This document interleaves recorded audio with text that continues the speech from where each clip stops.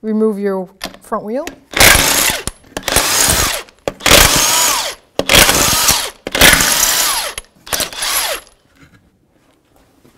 Dismount your caliper, 12 millimeter socket or wrench, and remove the mounting sliding bolts.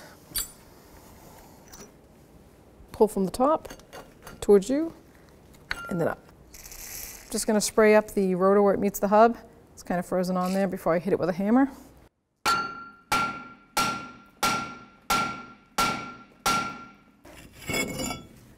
Gonna dis I'm gonna dismount the actual outer tie rod end so that I can move the knuckle freely. Just remove the cotter pin.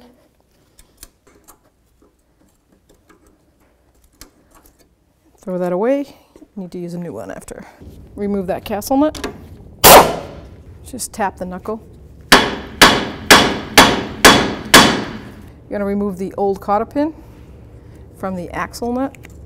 It's pretty rotted on this. Probably just gonna break. Might actually have to, wow. Nice. So this is the castle nut locking cap. It's just a tin cover that keeps the cotter pin in place. It's pretty rusted. And that's how you do that. So that's the spring that goes behind it, and there's the cover. 36 millimeter socket for the axle nut.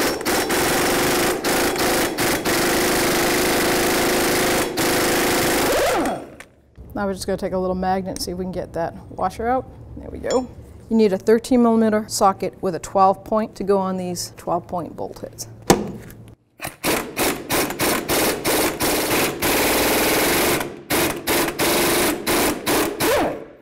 So I removed all three mounting bolts for the wheel bearing. I'm just gonna put one back in and just threaded a couple threads with my hand tight because when I smack this with a hammer to get this off, I don't want it to fall and uh, hit the toes.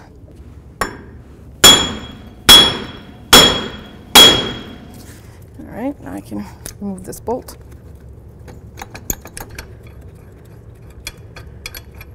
And just pull the wheel bearing right off. Now you're just gonna grab the driver's side axle and just slide it right out.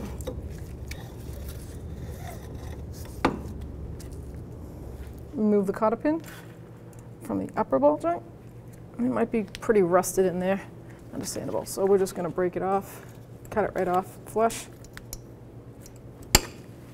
The socket will fit on that. And the lower one, it looks just as bad.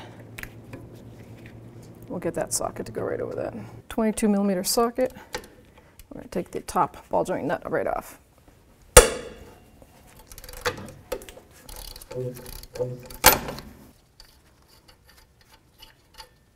Gonna take the lower ball joint castle nut off. That is a 28 millimeter socket.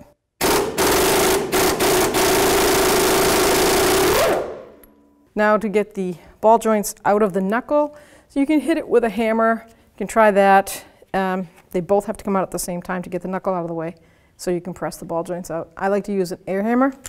Um, it just leaves less damage possibly to the knuckle.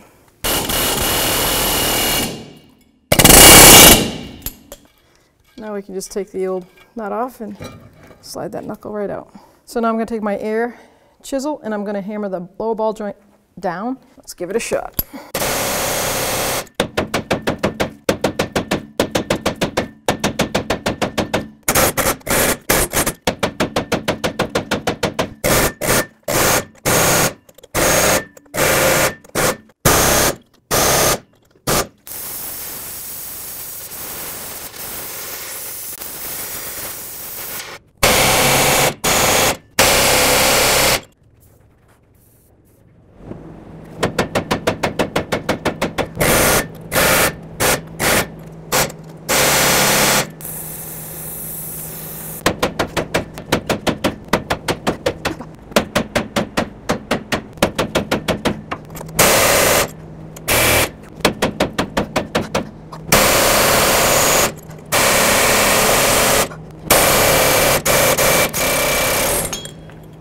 And now we can put the lower end in.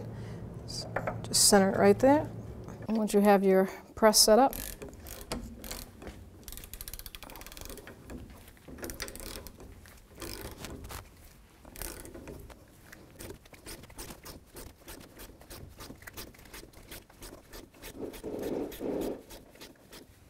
Make sure it's seated all the way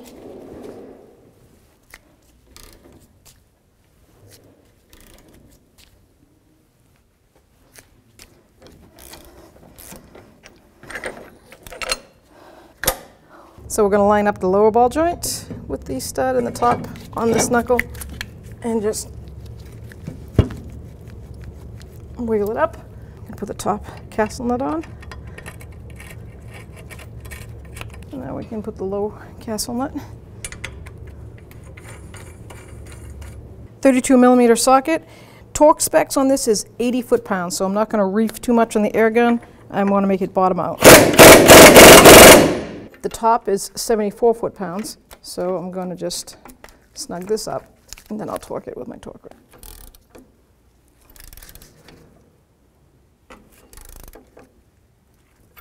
Lower ball joint, 80 foot pounds.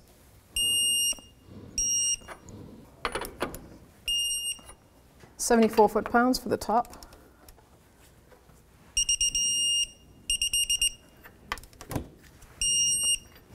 So I'm going to put my lower cotter pin in. Make sure it goes all the way down.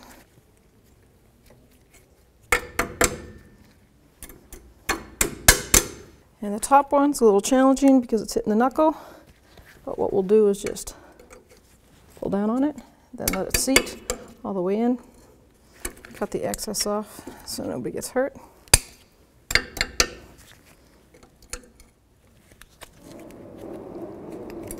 So you're going to grab your new axle, slide it right in. I'm going to suspend it, try to center it in that hole so that it hits that inner seal and lines up with the splines. Then you can just let it seat right in. I'm going to take the new wheel bearing, line it up with the splines. I can turn it so the bolt holes line right up. I got new bolts, so I'm going to put start the bolt by hand. So I started it by hand, 13 millimeter 12 point socket. Just gonna bottom it out and go all the way around to the rest. So bearing hub to knuckle bolts are 75 foot-pounds. So now we're going to put our axle nut on. First goes the flat washer. And then what they call a, then put the nut on. Just bottom it out. Torque on this is going to be 175, 175 foot-pounds. Put our tie rod in back on.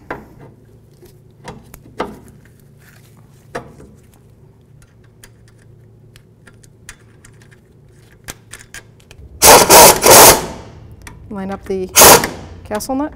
Now I put the cotter pin in, line it up.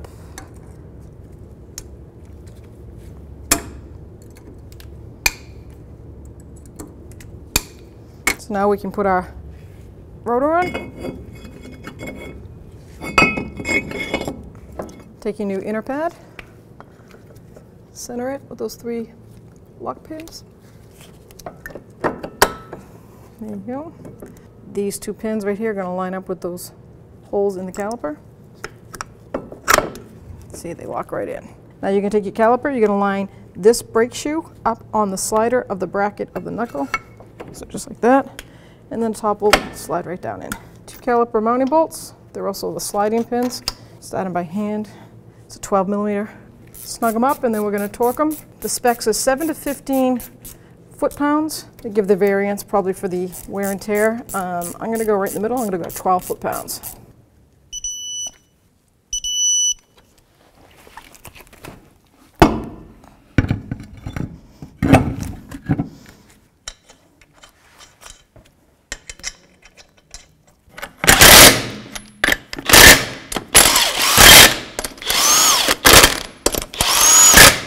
175 foot-pounds, nut.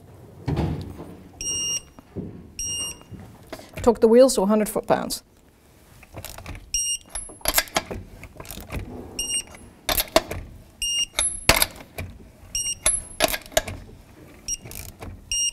Now we're going to put what you call a spring washer. See, it's got some bend to it. it goes in first. Then the castle nut cover. Try to line up the pins, the hole and then your cotter pin, slide that right through. That spring washer is doing its job pushing out on that. So we're just gonna pull it right through. Make sure it's all the way down, bottomed out.